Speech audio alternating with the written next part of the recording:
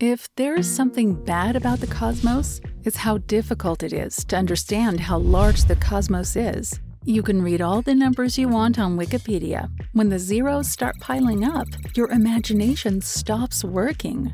That's why the best thing we can do is compare these enormous distances to spaces we are used to.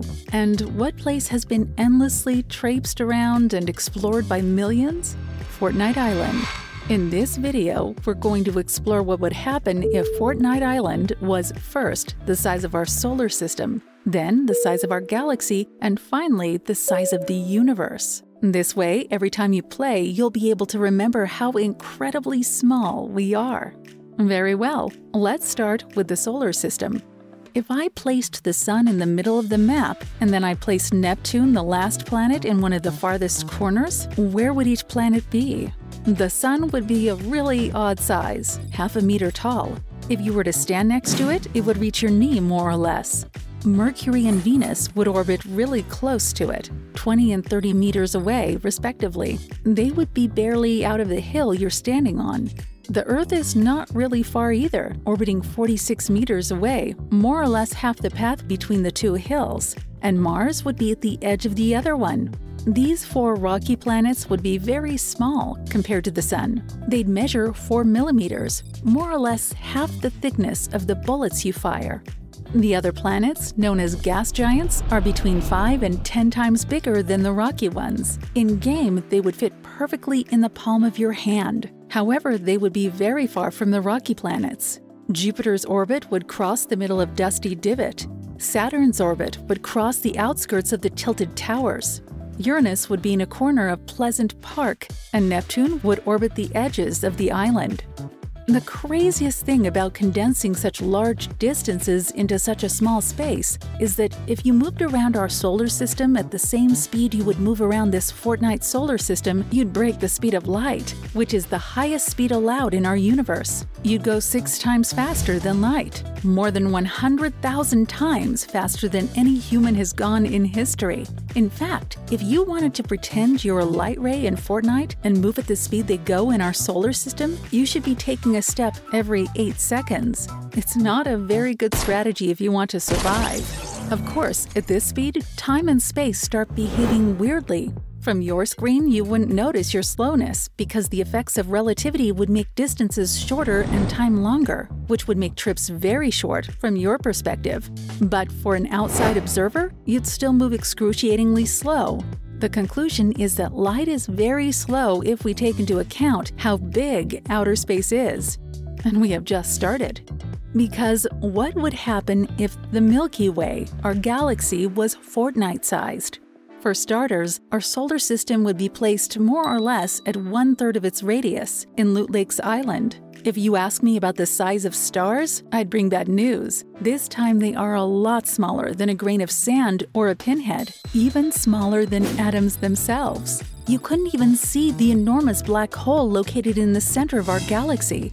Nonetheless, although the stars are very small, there's a really big distance between one star and the next one.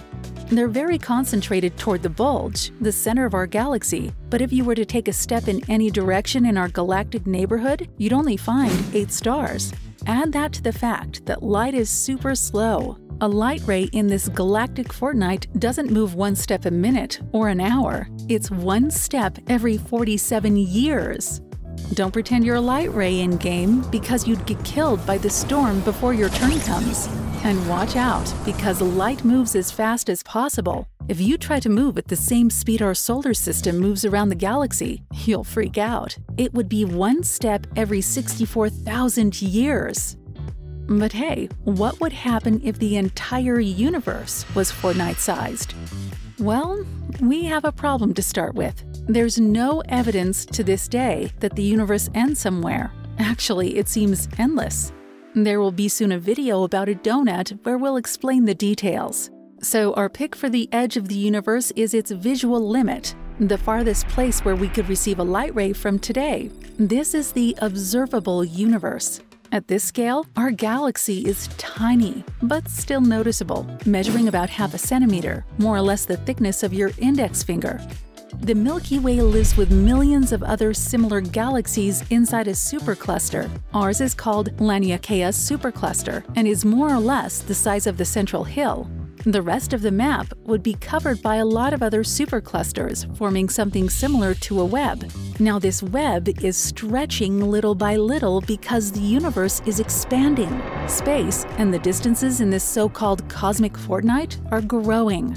If you play today and go all the way from the tilted towers to the center of the map, and then play again in 10 billion years, you discover that that distance is now twice the length it was.